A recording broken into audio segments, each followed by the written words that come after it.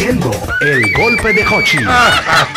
Recuerda, síguenos en Twitter, arroba el mismo golpe y arroba Hochi Santos. Mi amigo Checheo Rivera en línea. Hola Checheo, hermano, ¿cómo estás? Pocheta, mi cariño para ti y los tuyos ahí. Lo propio, lo propio, hermano. Eh, he querido tener esta comunicación contigo para eh, que tú nos des tu posición, la posición de la familia eh, Damirón en relación a este caso que se ha presentado a propósito de los premios Casandra y que ustedes quieren ya que le retiren el nombre de su señora madre a esos premios. Eso es correcto, Jorge. Eh, no sé por qué ese, ese empecinamiento de mantener una discusión cuando es una voluntad que tenemos. Nosotros es un es un, un derecho que nos asiste de, de decidir nosotros el curso que se le da al, al uso del nombre de nuestra madre. Eh, luego de agotar todo un periodo de esfuerzo tratando de que la premiación se reencuentre eh, consigo mismo y con su trayectoria histórica y más recientemente después de los desaciertos de designaciones de premiaciones a personas cuestionadas y personas de poca trayectoria eh, artística y más, más un paquete de otros problemas que, que han habido pues eh, le notificamos con tiempo a el interés nuestro. El mismo día de la última premiación a Acrobarte nos reunimos después hace ya más de cuatro meses reunimos con ejecutivos de la cervecería. Hicimos nuestro planteamiento. Eh, depositamos un documento de siete puntos eh, en la asamblea de Acrobarte que por manejo torpe del presidente se fueron a la luz pública, donde inclusive habían dos de carácter confidencial que habíamos tratado con ellos y que no teníamos el interés de que se fuera al aire por por no hacerle daño a una premiación que la cual hemos contribuido por más de 28 años Sí. y, co- y- y de la cual solo en, en 26 años obtuvimos eh, beneficios afectivos y beneficios eh, sentimentales. Nosotros nunca hemos tenido ningún tipo de participación económica eh, en la premiación. ¿Qué pasa? Que eh, los dos últimos puntos que nosotros, y ha sido, ha sido la, la, la, la bandera que ellos han enarbolado con la intención, no sé si de hacerle daño eh, o de hacerme daño a mí que he tenido la, la, La voz cantante. la voz, la voz cantante en esto, pero eh, muchas veces eh, eh, la gente hace la cosa y le pasa como Chacumbele. Esos dos últimos temas a lo único que perjudica es al premio y al gremio. Los dos temas son los siguientes. Se está esgrimiendo el, el, el, el- el concepto de que nosotros hemos pedido dinero. Nosotros no hemos pedido dinero, nosotros hemos mandado comunicaciones reiteradas a cervecería y a, y fundamentalmente, que es el interlocutor que nosotros escogimos, porque Acrobarte que organiza el evento y Acrobarte que debería tener el control de su evento, que lo han perdido a cambio de anuncitos a la, directiva, a cambio de anuncitos, desde que una persona llega a posición directiva en Acrobarte, le meten un anuncio inmediato y ya está eh, eh, pago. Entonces, nosotros hemos hablado de, de, los aspectos de reconocimiento del mérito de artistas de los sectores clásicos que se han excluido y se entregan en un picadillo que se hace antes, de, antes del ceremonial. Este año, más de la mitad de los ganadores no fueron a recibir el premio. Nosotros hemos hablado de que no es justo que si a Fernando Villalona y a Johnny Pacheco por más de cuatro años se le negó la presea por alegada eh, eh, eh, relaciones con, con el consumo de sustancias eh, controladas. porque eso lo dan a una persona que acaba de salir presa y que está obligado en problemas con niños y que, tiene una conducta cuestionada? Eh, hoy, a la fecha de hoy, no se le ha dado un reconocimiento a Freddy Ginebra, el padre del teatro moderno, junto con, con el señor Villalona, que acaba de morir. A Freddy no se le ha reconocido su valor, pero sin embargo se le da un bonitillo que viene de, de México, que hizo una novela y se pegó. Porque el premio ha venido pasando por un crossover de un premio de reconocimiento del arte nacional a un premio que se viene manejando con la intención de abrir puntos de mercado desde el punto de vista comercial para el patrocinador. Lamentablemente. Y era lo que nosotros no queríamos decir. Por eso tú ves que a Gloria Trevi la premian porque les interesa el mercado mexicano del sur de Estados Unidos y el mercado de la Florida. Entonces, nosotros le dijimos a, a, a Croate, nosotros queremos que el premio vuelva a ser lo de antes y que, y que volviera a tener un solo auspiciador que cervecería, más nadie. O de lo contrario, si vamos a volver el evento, un, un- el, el evento, la parte comercial, un cambio de, de cualquier canal comercial, de cualquier novela, entonces tendríamos que hablar en otros términos. ¿Por qué? Porque no es posible que, mira, Pablo Rojas acaba de decir hoy que el monto de publicidad, yo creo que creo que es un poco exagerado, que se que se colocó en el en el evento último presentado fue de cerca de 90 millones de pesos. Pero el evento costó, según me dijeron, alrededor de 50 o 60. ¿Qué quiere decir? Que los anunciantes que no son cervecería generaron cerca de 20 millones de pesos anuncios que no son cervecería nacional dominicana. ¿Y tú sabes quién facturó y cobró eso? ¿Quién? Bueno, no, no fuimos los hijos de Casandra, ni fue a Croarte. ¿Y quién, Entonces, quién- ¿qué- quién facturó eso, Checheo? ¿Perdón? ¿Quién lo facturó? ¿Quién lo cobró? O pre- pre- pregúntale a Croarte. ¿Tú sabes qué te van a decir ellos? Lo que dijeron anoche en el programa de María Cela, que no fueron ellos. Entonces no fuimos nosotros, y ni son ellos. Entonces, nadie está autorizado a hacer un negocio dentro de un evento donde está el nombre de mi mamá. ¿Tú me entendías? Entonces nosotros dijimos, ah, pero espérate, si esto es un evento que se va a tratar como un evento comercial, con un fin comercial, entonces tenemos que hablar en otro término, porque entonces tenemos derecho, todos los que estamos aquí adentro, de participar. Ok, una pregunta, Checheo. Eh, parece ser, eh, por lo que he estado leyendo, no, no tengo profundidad en el caso, pero eh, mm, la gente de Acroarte, la institución como Acroarte, está como por pelear el nombre de Cassandra. Porque Bueno, mira, que mira, mira lo que te voy, mi- mira lo que te voy a decir y ojalá que no lo hagan. Y, y- y esta, esta advertencia va con la mejor buena fe. Mira lo que sucede, yo, y a todo el público eh, eh, radio audiente que, que, que ponga atención a él. Hay que tener mucho cuidado con eso, porque las leyes son muy claras y establecen que todo el que participa dentro de un evento que tiene problemas de propiedad del, del, nombre o problemas de derecho es pasivo de ir a la justicia. Todo el que participa, anunciantes, etcétera, son pasivos de ser sometidos a la justicia. Entonces, pero ve- veamos esto. Eh, en el día de hoy salió un comunicado de Cervecería Nacional Dominicana firmado por Franklin León que yo tengo que saludar y felicitar. Tanto Acroarte como Cervecería recibieron una notificación vía alguacil nuestra, donde se dice que a partir de la fecha en que se recibió eso, la familia había retirado toda autorización para el uso del nombre del premio, del nombre de nuestra madre dentro del premio. Esta premiación puede y deberá seguir con otro nombre y que le vaya bien, pero no con el nombre de Casandra. Este documento que publicó Cervecería no menciona la palabra premio Casandra una vez, no la menciona. Han tenido, han tenido el cuidado de entender de entender que es una situación delicada Ya. y, te, y, y abundo sobre esto. Cervecería Nacional Dominicana, empresa a la cual nosotros no tenemos corazón con qué agradecerle el esfuerzo que durante tantos años eh, eh, hizo por el nombre de nuestra madre. Es una empresa que tenga un proceso de transición ahora.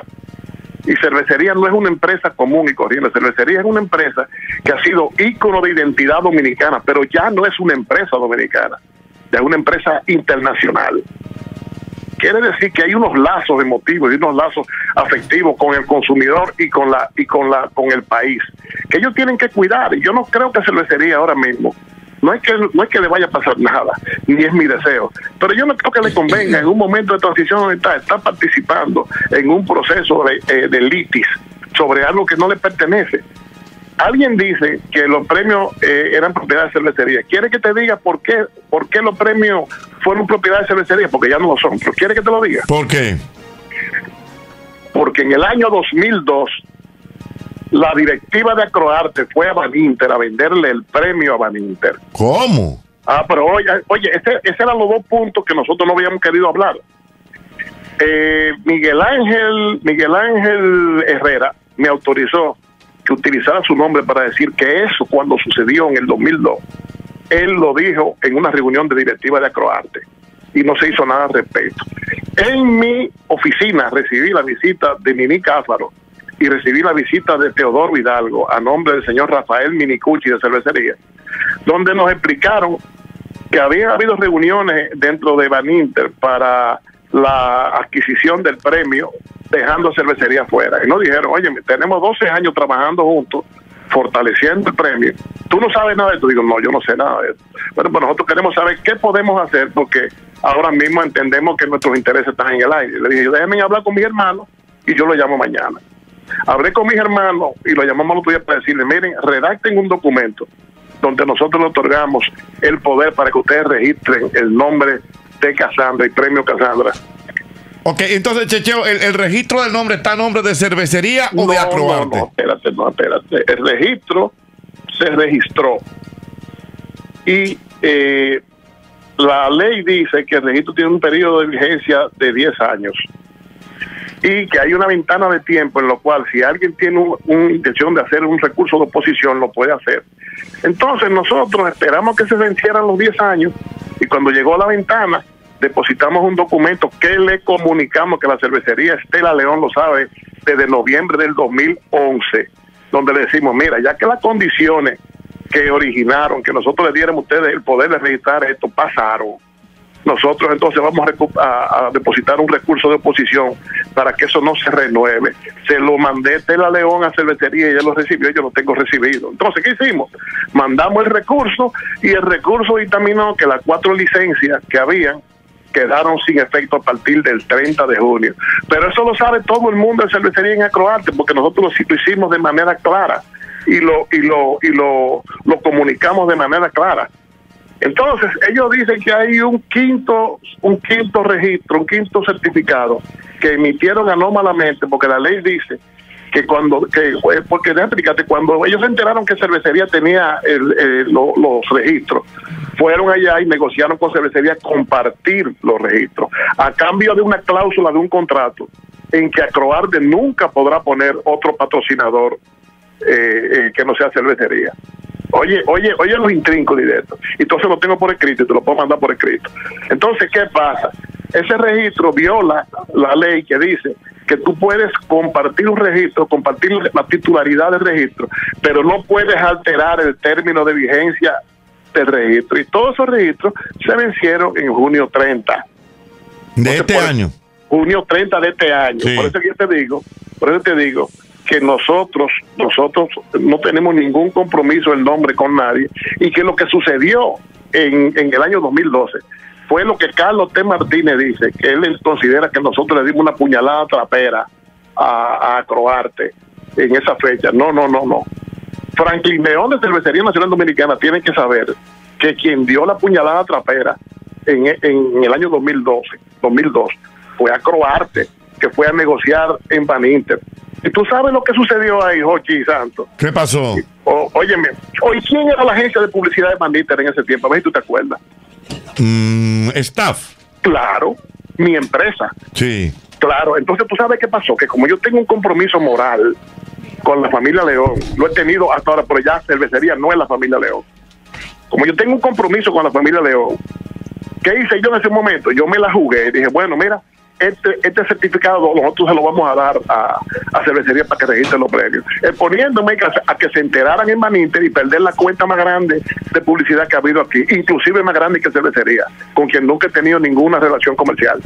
Entonces, eso lo hicimos por principio, porque nosotros teníamos un compromiso con cervecería de no dejar que un grupo de charlatanes dentro de Acroarte cogieran el premio y se lo llevaran a Maninter.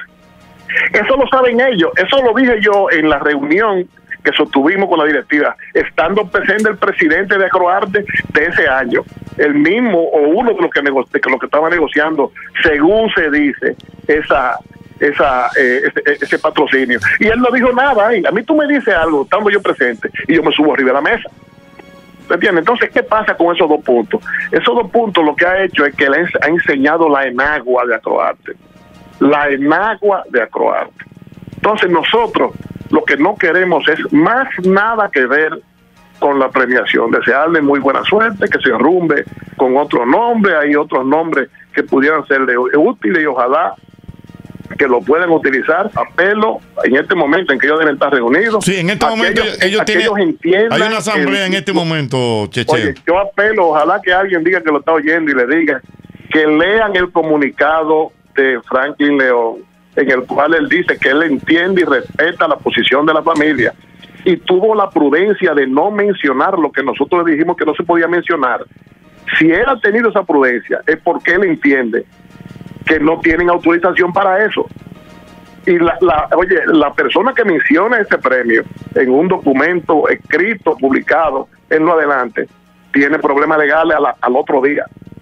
Yo no creo que en este momento, de una manera graciosa, sea inteligente, proveerle a una empresa que tenga un proceso de reestructuración y de reorganización que es importante para todos los dominicanos, no creo que es sensato traer ese problema. Ahora, si ellos quieren que entremos en ese terreno, vamos a entrar, porque yo soy hijo de Casandra, yo no tengo nada que perder.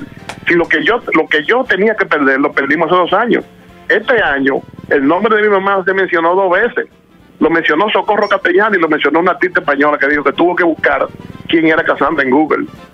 Porque hemos pasado por un proceso de quitarle la identidad al Casandra. El Casandra es un, es un evento comercial por eso fue que dijimos nosotros, bueno, ven acá, si aquí se está produciendo un dinero, entonces el dinero que se produzca aquí, tenemos que sentarnos a hablarlo, porque nosotros tenemos derecho sobre ese dinero también. Ya entiendo. Bueno. oye, oye, ese es el punto. Ahora, ¿qué nosotros queremos? Que dejen a la soberana tranquila ya. Dejen a Casandra quieta. Ya, oye, pasen la página, búsquense otro nombre y sigan adelante. Si ellos confían tanto en eso. Tú sabes lo que dijo, eh, me da mucha pena lo que dijo eh, uno de los periodistas que tuvieron anoche en el programa María Cela, que si Casandra no hubiera tenido el premio, sus nietos hoy no sabrían quién fuera ella. Parece que esa gente no sabe que hay una estación de metro con el nombre de ella, dos plazas, una estatua aquí, un edificio de la televisora estatal con el nombre de ella, estatuas en varios sitios, escuelas en el interior. Oye, Casandra tenía sus logros. En la era de Trujillo, Casandra es el artista más grande que había aquí. En el 60 lo siguió siendo, en el 70 lo siguió siendo, y en el 80 lo siguió siendo. Ahora, antes del Casandra, antes del Casandra, Acroarte no pasaba del departamento de mensajería en Eleo Jiménez y en cervecería. Acroarte no puede mostrar un logro que no sea ese. Y vuelvo y lo repito, Casandra antes era, durante y después. Acroarte sin el Casandra no pasaba del departamento de mensajería en la cervecería. Entonces, eso es lo que tienen que ver. Vean lo que tienen y sigan adelante. Pero olvídense del nombre de Casandra. Eso lo vamos a defender hasta la última consecuencia. Lo vamos a defender porque eso es lo único que nosotros tenemos. Muy bien. bueno. Oye, y eso no va a nosotros que no pierdan el tiempo en buscar intermediarios, ni en llamarnos, ni nada. Ellos que, que, que eh, inclusive, yo no entiendo si, si por algún lado, Jorge, nos dicen no, que si hay, posibilidad de concertación. Nadie establece concertación agrediendo al otro, ¿tú no crees? Correcto, es verdad. ¿Eh? Sí, es entonces lo peor, es una entidad que anda tan, tan manga por hombro, que el presidente se queda callado y lo que hay son unos leguleyos hablando por él. Bueno. Bueno, pues muchas gracias, Checheo, por concedernos estas declaraciones aquí en este programa, El mismo golpe. Sí mismo, un abrazo. Un abrazo, Checheo. Bueno, ahí estaba Checheo Rivera. Eh, bueno, por lo que ustedes acaban de oír, definitivamente no hay arreglo con eso. No hay arreglo. Oh, padre. Es el mismo golpe. Golpe de Hochi. Recuerda, síguenos en Twitter, arroba el mismo golpe y arroba Hochi Santos.